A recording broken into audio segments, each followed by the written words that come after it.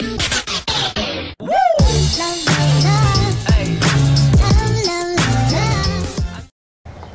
what's going on guys, it's Tracky here. So uh, my mouse stopped working yesterday and I figured uh, instead of throwing it away, why don't I hit it with a baseball bat?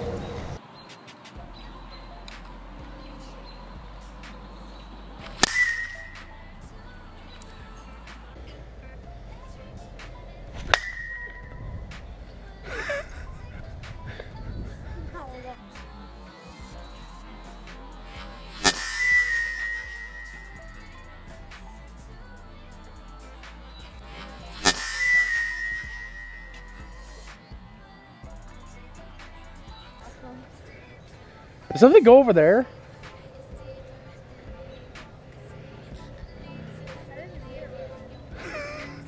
God damn, that thing fucking broke.